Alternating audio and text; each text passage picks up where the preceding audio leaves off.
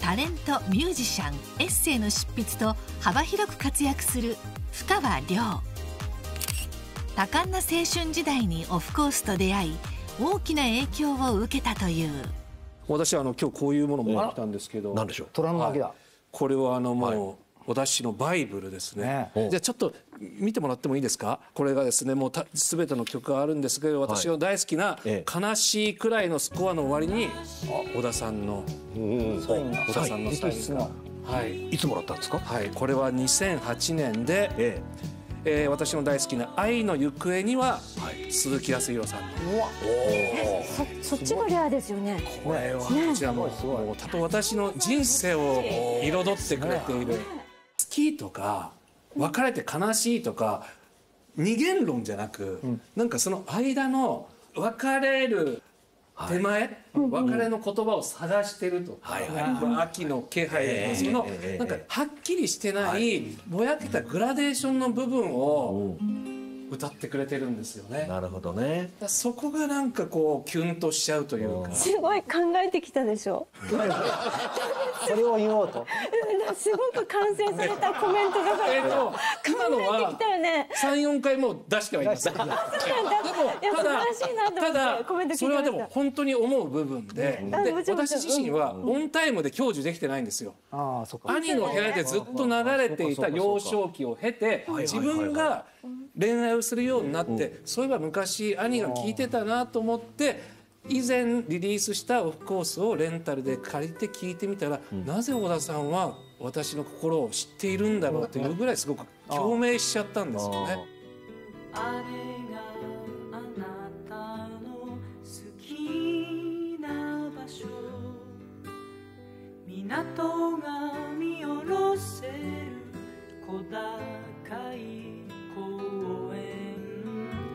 あなた。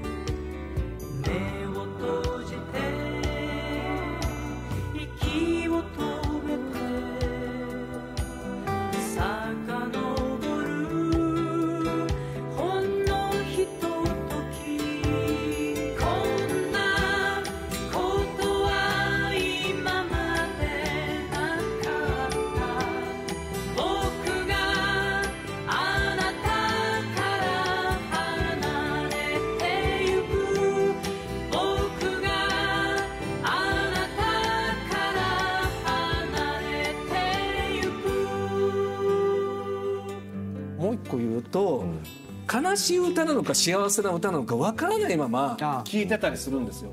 で後になって歌詞をちゃんとほどいてみたらあこれは別れの歌だったんだとか、そこもねなんかこうぼやけてる感じが。多分自分の恋愛と重なってるのかもしれないですけど「悲しいくらい」という曲です。あの意識的にあの歌詞を注目してるわけじゃないんですけどやっぱりそのメロディーに乗ってくるこのもうどうにも引き離せない言葉がやっぱりスーッと心に入ってくるのでなんかいろいろ詰まってるんですよねその音の中に。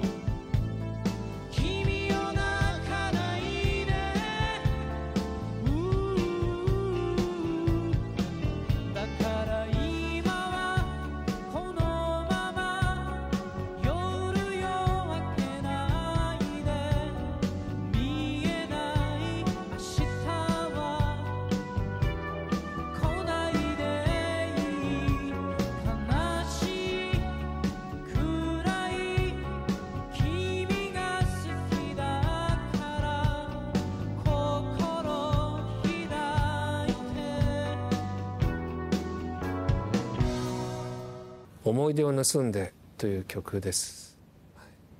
オフコースの詩はどれもいいんですけど特に刺さるというか染み込むというかじんわりと体中を巡るような言葉の世界喋りすぎた冬の日の午後はこぼれ落ちた愛の始まり幸せなのか不幸なのかなんかそこだけ聞くとよくわからないですけどそこがまたいいんですよね。